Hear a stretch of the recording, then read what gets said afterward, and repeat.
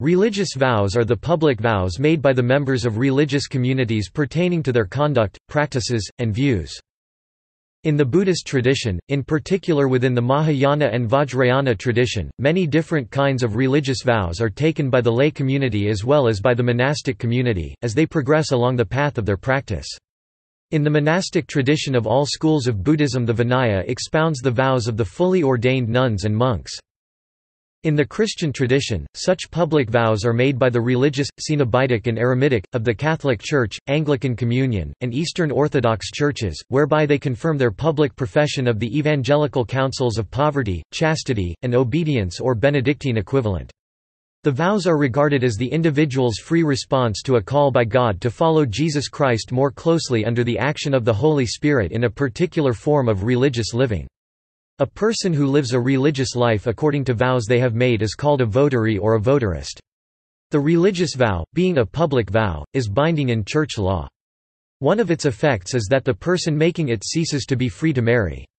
In the Catholic Church, by joining the consecrated life, one does not become a member of the hierarchy but becomes a member of a state of life which is neither clerical nor lay, the consecrated state. Nevertheless, the members of the religious orders and those hermits who are in holy orders are members of the hierarchy.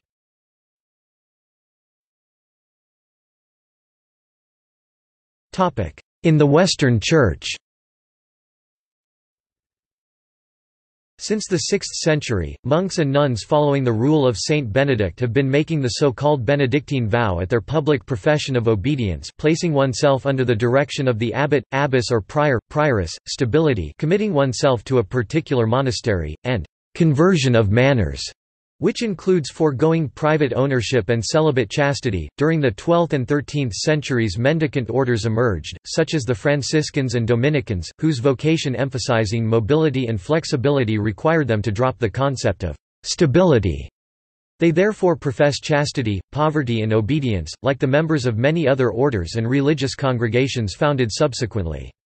The public profession of these so-called evangelical counsels or counsels of perfection, confirmed by vow or other sacred bond, are now a requirement according to modern church law. The clerks regular of the 16th century and after, such as the Jesuits and Redemptorists, followed this same general format, though some added a fourth vow, indicating some special apostolate or attitude within the order.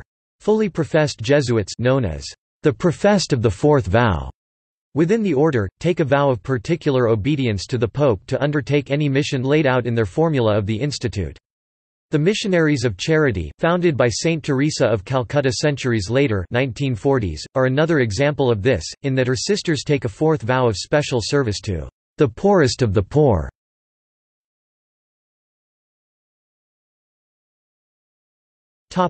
In the Catholic Church In the Catholic Church, the vows of members of religious orders and congregations are regulated by Canons 654–658 of the Code of Canon Law. These are public vows, meaning vows accepted by a superior in the name of the Church, and they are usually of two durations, temporary, and, after a few years, final vows permanent or perpetual. Depending on the order, temporary vows may be renewed a number of times before permission to take final vows is given.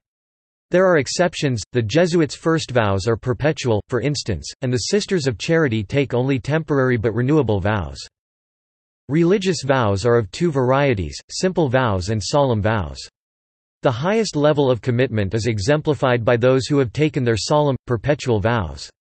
There once were significant technical differences between them in canon law, but these differences were suppressed by the current Code of Canon Law in 1983, although the nominal distinction is maintained.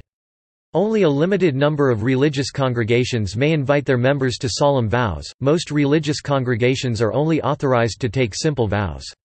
Even in congregations with solemn vows, some members with perpetual vows may have taken them simply rather than solemnly. A perpetual vow can be superseded by the Pope, when he decides that a man under perpetual vows should become a bishop of the Church.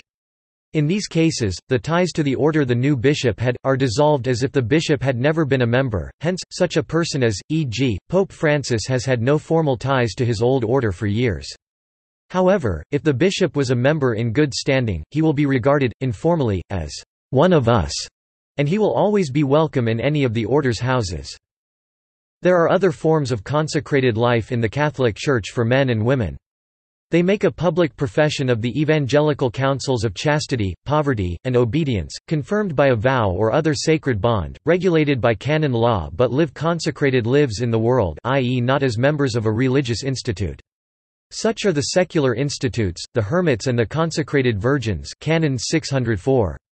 These make a public profession of the evangelical counsels by a vow or other sacred bond. Also similar are the societies of apostolic life.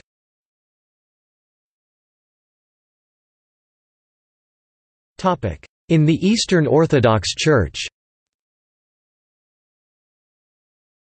Although the taking of vows was not a part of the earliest monastic foundations the wearing of a particular monastic habit is the earliest recorded manifestation of those who had left the world, vows did come to be accepted as a normal part of the tonsure service in the Christian East.